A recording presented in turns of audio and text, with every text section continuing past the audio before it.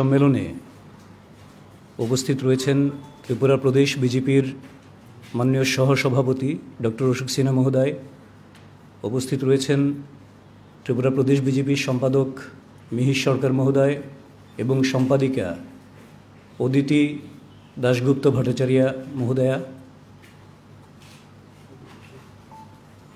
আমরা সবাই জানি গত তেসরা এপ্রিল ছত্তিশগড়ের বিজাপুর সুকমা সীমান্তে কমিউনিস্ট সন্ত্রাসবাদীদের আক্রমণে আমাদের বাইশ জন সেনা জওয়ান শহীদের মৃত্যুবরণ করেছেন। যার মধ্যে ত্রিপুরার বীর সন্তান শহীদ শম্ভু রায় রয়েছেন। আমরা ইতিমধ্যেই প্রদেশ কার্যালয়ে ওনার শহীদের মৃত্যুবরণ করাকে কেন্দ্র করে শ্রদ্ধাঞ্জলি অনুষ্ঠানের আয়োজন করেছি। আজকেও আপনাদের মাধ্যমে ওনাকে আবার, ওনাকে সহ বাকি যারা শহীদ হয়েছেন দেশ রক্ষার্থে, কমিউনিস্ট সন্ত্রাসবাদীদের নৃশংস আক্রমণে, সবার প্রতি আবারও শ্রদ্ধা নিবেদন করছি এবং তাদের পরিবার পরিজন যারা রয়েছেন, তাদের প্রতি সমবেদনা জ্ঞাপন করছি। এই কমিউনিস্ট সন্ত্রাসের যে চিত্র, সেটা কিছুদিন বাদে বাদেই দেশের বিভিন্ন প্রান্তে দেখা যায়। এবং তার আগেও আমরা দেখেছি, ছত্তিশগড় বলুন কিংবা অন্যান্য প্রান্ত বলুন, এই ধরনের আক্রমণ সংঘটিত হয়েছে। তো ত্রিপুরা প্রদেশ বিজেপি আমরা মনে করি, এই কমিউনিস্ট সন্ত্রাসের বিরুদ্ধে একটা গণজাগরণ হওয়া দরকার। সব মানুষের কাছে এই বার্তাটা পৌঁছানো উচিত যে কমিউনিস্টের নৃশংসতা, বর্বরতা, সন্ত্রাসের প্রকৃত রূপ কী, সেটা মানুষের কাছে তুলে ধরা দরকার।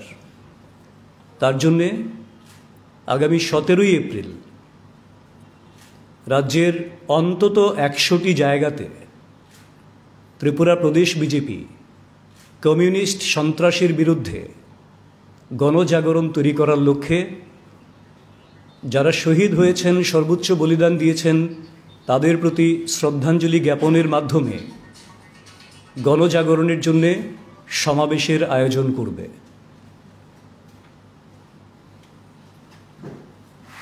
এবং আরেকটা বিষয় আপনারা লক্ষ্য রাখবেন, আমরা সেই তিন তারিখের পর থেকে যখন থেকে খবরটা প্রকাশ এলো, তারপর আমরা লক্ষ্য করছি, এখনও পর্যন্ত যারা ত্রিপুরায় কমিউনিস্ট রয়েছে, এই নারকীয় বর্বরতম এবং দেশদ্রোহী ঘটনার কোনো নিন্দা সেই অর্থে আমরা কোথাও লক্ষ্য করছি না। সেনাবাহিনীর মনোবল বাড়ানোর জন্যে কোনো রকম বিবৃতি আমরা লক্ষ্য করছি না। দেশ রক্ষার কাজে যারা নিয়োজিত, তাদের সমর্থনে এগিয়ে আসার মতন কোনো রকম পদক্ষেপ, বিবৃতি আমরা কোথাও লক্ষ্য করছি না। বরং প্রশ্ন তোলা হচ্ছে কোনো কোনো জায়গায় যে আদৌ এর পেছনে যে কমিউনিস্ট সন্ত্রাসবাদীরা রয়েছে, এরা আদৌ কাউকে বন্দি করেছে কিনা, এটা সন্দিহান। এই ধরনের কথাবার্তা বলে আমাদের বীর জওয়ান যারা রয়েছে, তাদের মনোবলকে চাঙ্গা করার জায়গায় ভেঙে দেওয়ার মতন একটা প্রয়াস কোথাও কোথাও আমরা লক্ষ্য করছি। তো এই জন্যেই আমাদের মনে হয়েছে সামগ্রিক বিষয়টাকে সর্বসাধারণের কাছে আমরা নিয়ে যাব এবং তার জন্যে আগামী সতেরোই এপ্রিল রাজ্যের অন্তত একশোটি জায়গাতে আমরা শহীদদের স্মরণ করে তাদের প্রতি শ্রদ্ধা জানিয়ে আমরা মানুষের কাছে কমিউনিস্টের এই সন্ত্রাসবাদী ঘৃণ্য যে তাদের ক্রিয়াকর্ম, সেটাকে আমরা মানুষের কাছে নিয়ে যাব এবং গণজাগরণের জন্য আমরা মানুষকে সহমতে ভিত্তিতে সংহত হওয়ার জন্যে আমরা আবেদন জানাব। এবার বাকি আমি আমাদের মাননীয় সহসভাপতি ডক্টর অশোক সিনহা মহোদয়ের কাছে পরবর্তী কথাগুলি বলার জন্য অনুরোধ করছি। জায়গাটা এখনও স্থির হয়নি, জায়গাটা আমরা পরবর্তী সময়ে বলে দেব।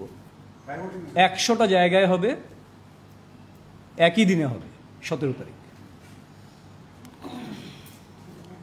নমস্কার।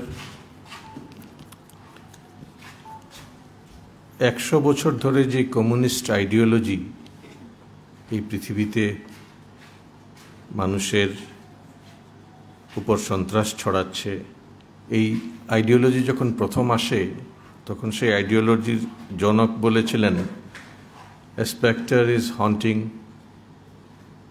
Europe haunting কথাটার অর্থ ভূতের উপদ্রবের মতো। এবং নিজেই কথাটা বলেছিলেন নিজের আইডিওলজি নিয়ে and how correct he was এই সমস্ত পৃথিবীতে গত একশো বছরে কমিউনিস্ট শাসনে যত লোক মারা গেছে, সব টোটাল করলে অন্য সমস্ত অন্য সমস্ত যুদ্ধ টুদ্ধ মিলিয়ে তার চাইতে বেশি কমিউনিস্টদের হাতে নিহত হয়েছে। কমিউনিস্টদের একটা চালাকি আছে।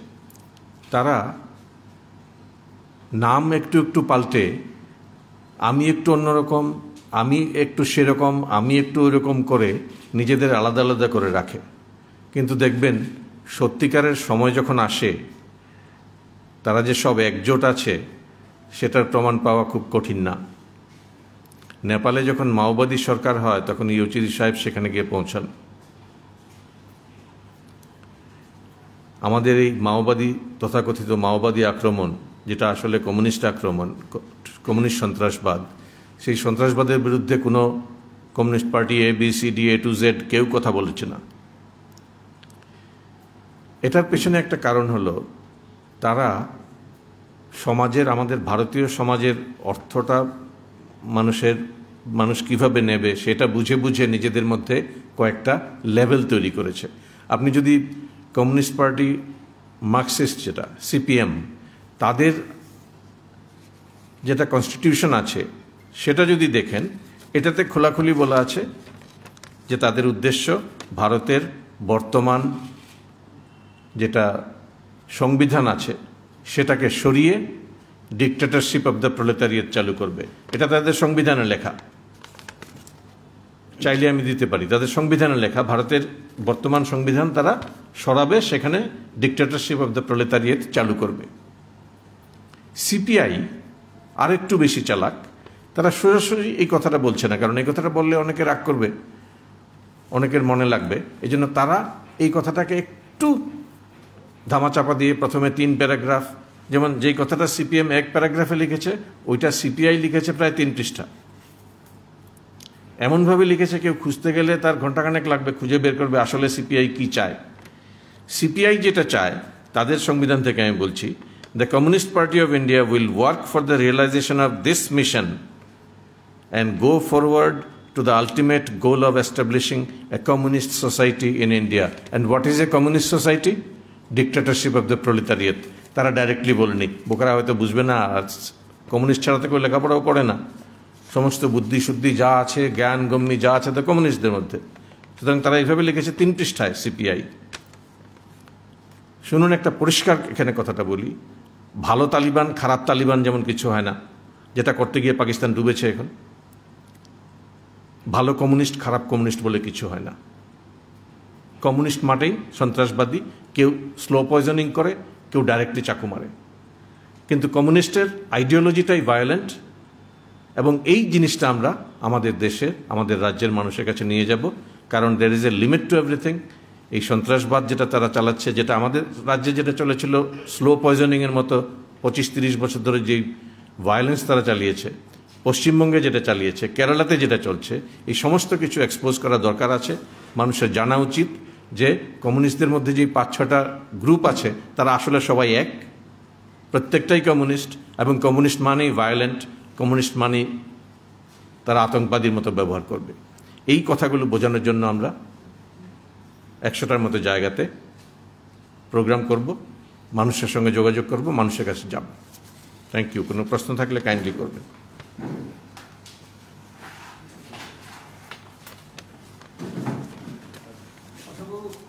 নির্বাচন সংক্রান্ত